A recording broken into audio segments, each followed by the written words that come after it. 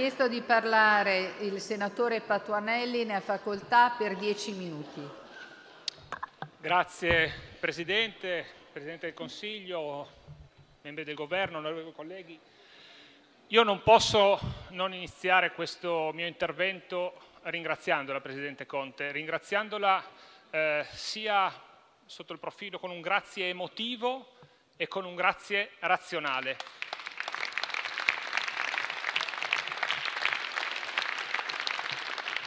È un grazie emotivo perché è innegabile che lei in questi 14 mesi abbondanti di governo è riuscito a creare un grande legame certamente col nostro gruppo parlamentare ma anche con il Paese e le manifestazioni di oggi ne sono una plastica dimostrazione. Ed è un grazie razionale perché grazie al suo lavoro, alla sua razionalità, alla sua capacità ha riportato l'Italia al centro dell'Europa e ha fatto sì che il contratto di governo nato tornerò dopo su questo elemento, nato per senso di responsabilità di due forze politiche che comunque sono sempre state diverse, avevano motivi eh, di tensione, la sua capacità, la sua mediazione ha sempre fatto camminare questa maggioranza nel solco di quel contratto, tranne forse nelle ultime settimane. Grazie, grazie davvero.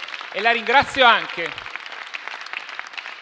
la ringrazio anche per un altro elemento, perché è riuscito a strappare a dei tweet, a dei comizi, alle spiagge il tema della crisi parlamentare l'ha portata qua dentro, l'ha portata dove deve stare, l'ha portata nelle aule dove si deve parlare di politica, dove si fa politica e dove si affrontano i temi anche quelli della crisi di governo. Lei ha usato spesso in questi mesi eh, una locuzione che mi ha molto colpito, la leale collaborazione. Ha citato spesso la necessità di una leale collaborazione. E io mh, mm, voglio fare mie queste sue parole, ho cercato di farle in questi, in questi, mesi da capogruppo, ho cercato di trasmettere al gruppo, anche nelle relazioni con gli altri gruppi politici, ho sempre cercato di portare avanti una leale collaborazione. E allora oggi, che forse le strade delle due forze eh, di maggioranza che hanno sostenuto questo governo si divaricano, posso dire che quella leale collaborazione c'è stata anche tra i gruppi parlamentari e ringrazio per questo il gruppo parlamentare della Lega per il lavoro che abbiamo fatto in questi 14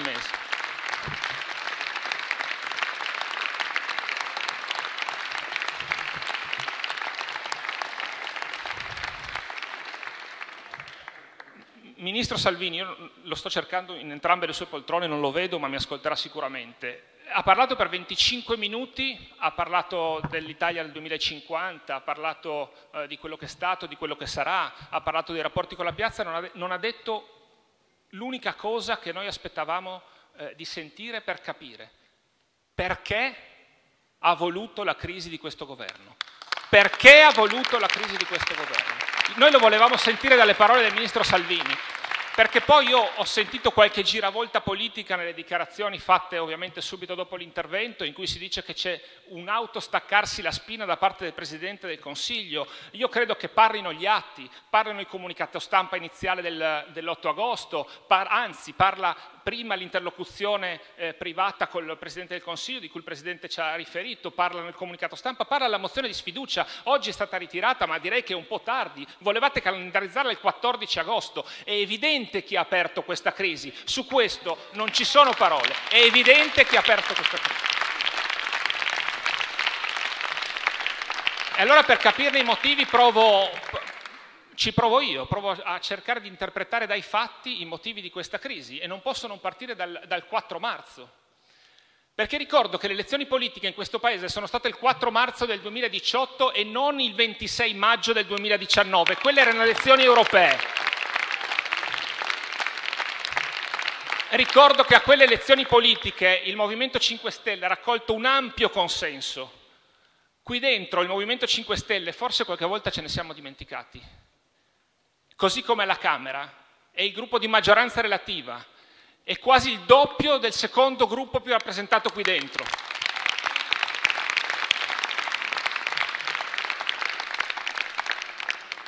E siccome avete votato una legge elettorale con il Partito Democratico, questo è un altro dato, noi quella legge elettorale non l'abbiamo votata, Quel risultato politico non ci ha consentito di governare da soli, abbiamo fatto un gesto di grande responsabilità, su cui poi abbiamo avuto la vostra leale collaborazione.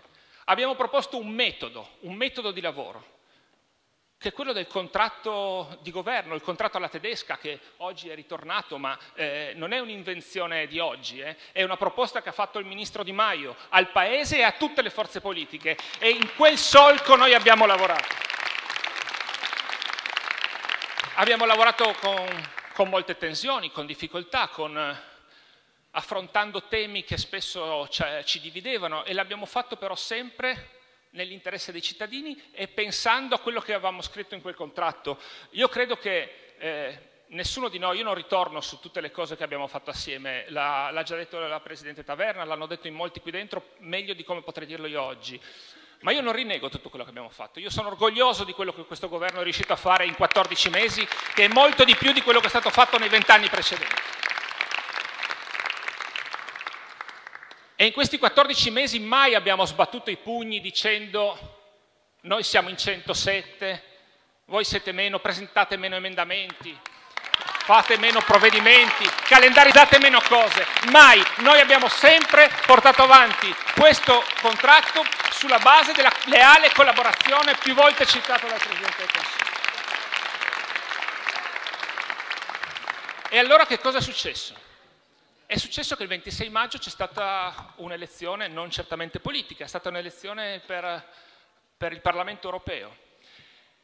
E allora sì che qualcuno ha cominciato a sbattere i pugni, a voler dettare l'agenda politica di questo governo, a voler citare temi che con il contratto di governo non c'entravano nulla. Faccio solo un, un, piccolo esempio, quello degli inceneritori. Parliamo dell'Italia del 2050, parliamo di sviluppo, di, di economia circolare, di, di green economy e, par- e continuiamo a parlare di inceneritori. Quell'elemento non c'è nel contratto di governo.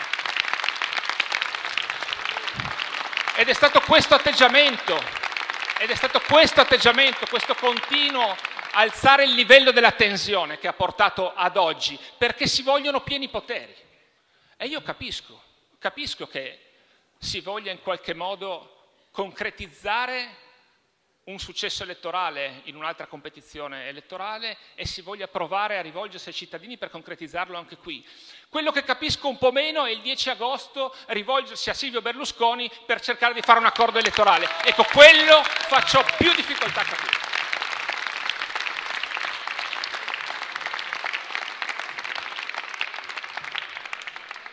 Il tema di questa crisi d'agosto non è la questione delle, delle, delle vacanze. Guarda, io faccio il professionista da quasi vent'anni. Le parole ferie e vacanze sono cose che mi ricordano qualcosa, ma non so esattamente cosa siano. Noi siamo sempre stati qua dentro, abbiamo sempre lavorato negli interessi dei cittadini, abbiamo sempre cercato di fare il bene dei nostri cittadini.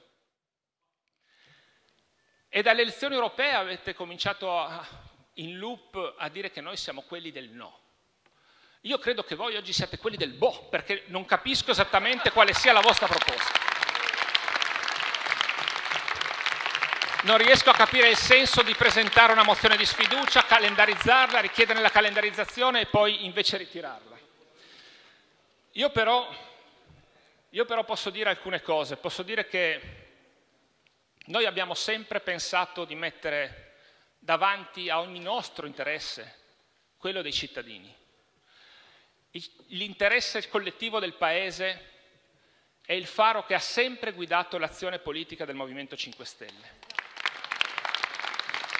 Sarà così anche in questa occasione. Sarà così anche questa, in questa occasione.